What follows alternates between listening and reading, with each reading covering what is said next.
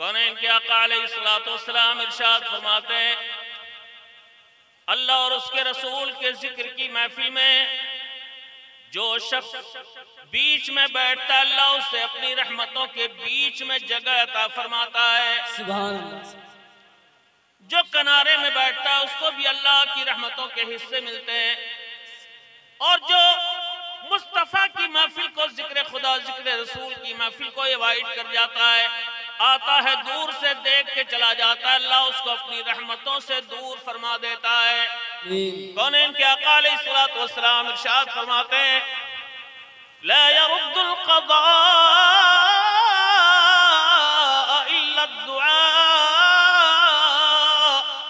तकदीर के फैसले नहीं बदलते, लेकिन अल्लाह ने मेरे गुलामों की दुआओं में वो तासीर दी है। अगर ये सच्चे दिल से दुआ करते हैं अल्लाह इनकी दुआ की बरकत से तकदीरें भी बदल देता है।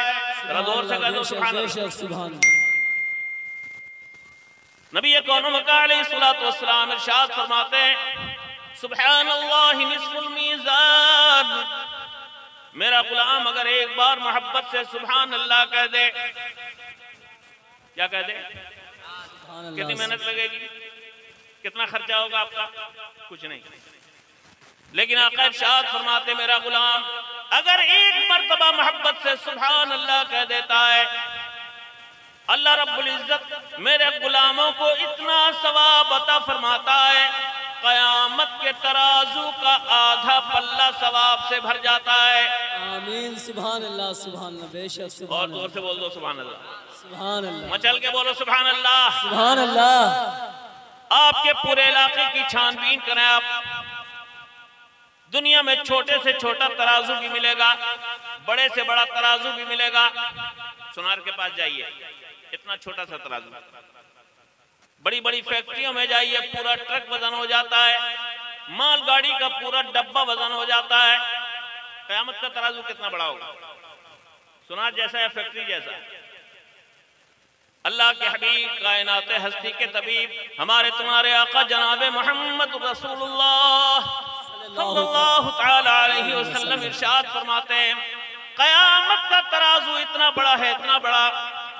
सातों ज़मीन और सातों आसमान अगर मीजान के कयामत के तराजू के पल्ले में रखे जाए तब भी कयामत के तराजू का पल्ला नहीं भरेगा।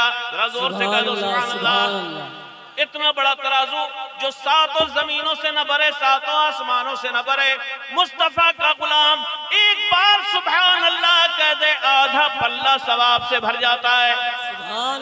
ये मेरी बोली नहीं मुस्तफ़ा का फरमान है। बोलते रहो आज भी बोलो आज के बाद भी बोलो। ऐसा नहीं कि जो जलसे में सुन के आए जलसे में रख के चले गए। जब याद आ जाए तब अल्लाह की पाकी बोलो। सुबहान अल्लाह दो चार बार अपने घर में बोल लोगे तो कोई घाटा हो जाएगा। नहीं ना। कोई ज़रूरी नहीं कि आप मुकर्री की तकरीर सुनिएगा, तभी कहिएगा सुबह शायर का शेर सुनिएगा, तभी कहिएगा सुबह अल्लाह आपकी जबान खाली है, कोई काम नहीं, आप अपने रब की तस्वीर बयान किया करो। बुज़ुर्गों ने इर्शाद फरमाया जो सुबहान अल्लाह कहता है अल्लाह इसकी बरकत से उसके दिल को पाक कर देता है उसकी जबान को पाक कर देता है उसके वजूद को पाक कर देता है। सुभान अल्लाह सुभान अल्लाह सुभान अल्लाह बेशक खाना खाते हैं आप? कोई नहीं खाता। तो बोल खाते हैं? जी खाते पानी वानी पीते हैं? चाय वाय पीते हैं? चाय पीने के बाद क्या बोलना चाहिए?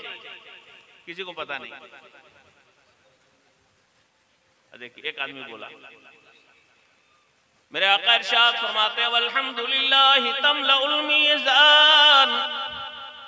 मेरा गुलाम अगर एक मर्तबा अल्हम्दुलिल्लाह कह दे, एक बार अल्लाह का शुक्र अदा कर दे। अल्हम्दुलिल्लाह का माना? अल्लाह का शुक्र है। अल्हम्दुलिल्लाह के बहुत सारे मानी। अल्हम्दुलिल्लाह का एक माना यह भी है, सारी तारीफों का मुस्तहिक अल्लाह। सारी तारीफें अल्लाह के लिए। लेकिन अगर कोई नेमत आपने अल्लाह की हासिल की, पानी पिया, पानी अल्लाह की नेमत है कि नहीं? नहीं मिले तब तब पता चलेगा। है ना अल्लाह की नेमत? पानी पिया आपने, एक घोट पानी पिया, एक गिलास पानी पिया। अल्लाह की नेमत आपने हासिल की। आपने खाना खाया, दाना दाना अल्लाह की नेमत है।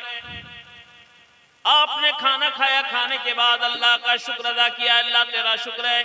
या अरबी में कहा, अल्हम्दुलिल्लाह, इसका माना होगा, अल्लाह तेरा शुक्र है। मैं नहीं कहता, जिसका कलमा पढ़ के मुसलमान कहलाते हैं आप, वो मदीने वाले सरकार इरशाद फरमाते हैं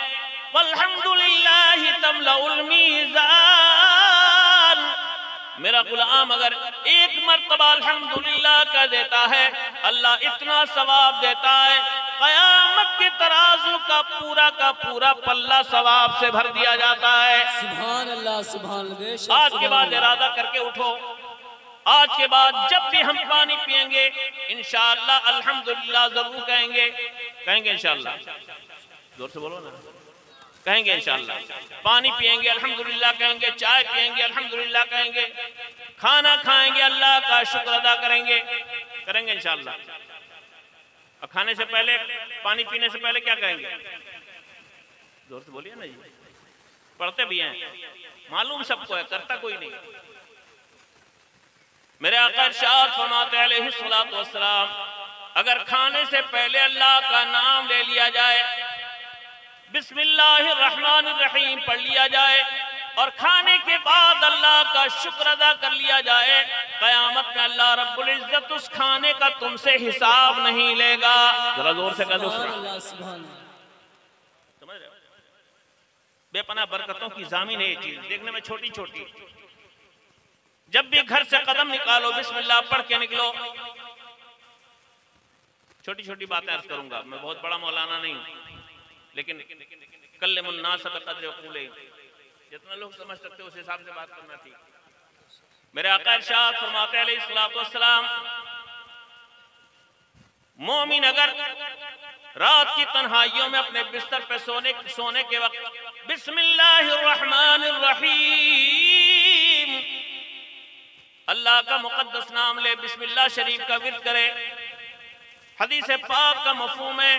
मोमिन अगर 21 मरतबा बिस्मिल्लाह पढ़ लिया करे अल्लाह की रहमत के फरिश्ते रब की बारगाह रहमत से आ जाते हैं और रात भर उसके नाम अमाल में नेकियाँ लिखते रहते हैं। जरा ज़ोर से कह दो। सुभान अल्लाह सुभान अल्लाह। बिस्मिल्लाह पढ़ के सोगे तो रात भर फरिश्ते नेकी लिखेंगे। सुबह के वक्त आप अपनी कमाई के लिए निकलते हो कोई तिजारत करता है कोई खेती करता है कोई काश्तकारी करता है कोई बिज़नेस करता है। बुज़ुर्गों ने अपनी किताबों में लिखा मोमिन अगर सुबह के वक्त अपने घर से निकले बिस्मिल्लाहिर्रहमानिर्रहीम का वजीफा पढ़ लिया करे 21 मरतबा पढ़ ले 40 बार पढ़ ले 100 बार पढ़ ले इंशाअल्लाह दिन में जो रोजी कमाएगा अल्लाह उसमें बरकत उतार देगा। ज़ोर से बोलो सुना सुभान अल्लाह। सुभान अल्लाह बरकत क्या चीज़ है सोच नहीं सकते आप। बरकत अगर अल्लाह देना चाहे तो कैसे देता पता है आपको? हम तुम सब मिलकर चलते हैं उस अजीम उस नबी की मुकद्दस बारगाह में जहाँ नबियों की ज़मीन अकीदत भी खम होती है। मेरे सरकार का मुकद्दस दरबार सैयदुल अंबिया कॉन्फ्रेंस मुनद किया आपने। हमारा नबी सारे नबियों का सरदार है। ज़ोर से कह दो सुभान सुभान और मचल के बोल दो सुभान अल्लाह। और एक बार तब के पूरा मजमा बोल दे सुभान अल्लाह। सुभान अल्लाह सुभान अल्लाह सुभान अल्लाह। कौनैन के आका?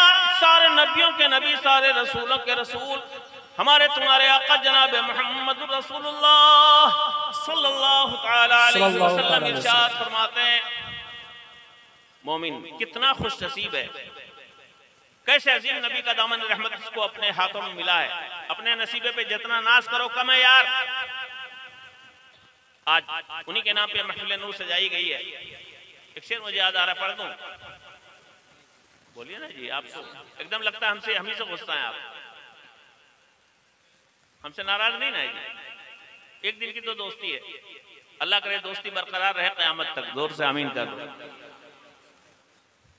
अगर नबी के वारिसों की उलमा से इन किराम की मोहब्बतें अपने सीने में रखेंगे आप तो ये मोहब्बत आपकी नबी से मोहब्बत है। ज़ोर से है ना? आप हमसे मोहब्बतों का रिश्ता उस्तवार करेंगे तो ये आपकी असल में नबी से मोहब्बत। उलमा की मोहब्बत, नबी की मोहब्बत। इसलिए हम चाहते हैं हमारा आपका रिश्ता मोहब्बत बरकरार रहे। ये रिश्ता जब तक चलेगा इंशाअल्लाह, मुस्तफ़ा की निगाह रहमत की रहमतें तुम्हारे साथ साथ चलेंगी। अपने नबी की बारगाह रहमत से अपनी अकीदतों का रिश्ता जोड़ के रखो। जो रिश्ता जोड़ के रखता वही कामयाब है। और जो रिश्ता जोड़ के नहीं रखता, वो कभी कामयाब नहीं होता। जिसके दिल में नबी की अकीदत है, उसी के सजदे भी काम करते हैं। अगर नबी की मोहब्बत नहीं, सारे सजदे मुँह पे मार दिए जाते हैं। क्या गलत कर रहा हूँ? इबलीस शैतान दुनिया का सबसे बड़ा सजदा करने वाला। छह करोड़ साल के सजदे मुँह पे मार दिए गए, इसलिए कि उसके दिल में हज़रत आदम की अकीदत नहीं थी। बोलो, आप जानते हैं? उलमा से आप सुनते हैं। उसके दिल में नबी की मोहब्बत नहीं थी, एहतराम रसूल नहीं था। सारे सजदे मुँह पे मार दिए गए, जन्नत के अंदर था तो जन्नत से बाहर निकाल दिया गया। सच है? अल्लाह ने इशाद फरमाया था, इब्लीस, बहुत सजदा करता है तो मेरी बारगाह में। जरा आदम को सजदा करके बता। ये सजदा कौन सा था? ताजीम का। जरा ज़ोर से कहते सुबह इबादत का सजदा अल्लाह के लिए। ताजीम का सजदा अल्लाह ने हुक्म दिया, आदम को सजदा करो। इबलीस ने कहा, अल्लाह अपना सजदा जितना करवा ले, मैं तेरे नबी की ताजीम नहीं करूँगा। इनकार कर दिया। किस चीज़ से इनकार किया था, याद रखो? किस चीज़ से? नबी की ताजीम से इनकार किया। अल्लाह रब्बुल इज़्ज़त ने इरशाद फरमाया, उखरुज मिनहा फइन्नका रजीम। ए इब्लीस, जन्नत से निकल जा। तू हमारी बारगाह का धुतकारा हुआ है।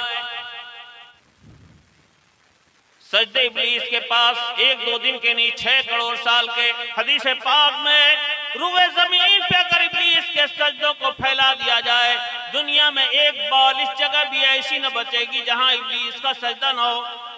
इतने सजदे? लेकिन बेकार हो गए। काम आए? अरे ज़ोर से बोलो, काम आए? क्यों नहीं काम आए? सिर्फ़ इसलिए काम नहीं आए। अल्लाह ने इरशाद फरमाया खुरुज मिनहा फइन्नका रजीम जन्नत से निकल जा। तू हमारी बारगाह का धुतकारा हुआ है। सीधा मतलब है जन्नत हमने उनके लिए बनाई है जो हमारी बारगाह में सजदे भी करते हो और हमारे महबूबों की ताजीम भी करते हो। ज़ोर से कह दो ये सुन्नी बड़ा खुश नसीब है।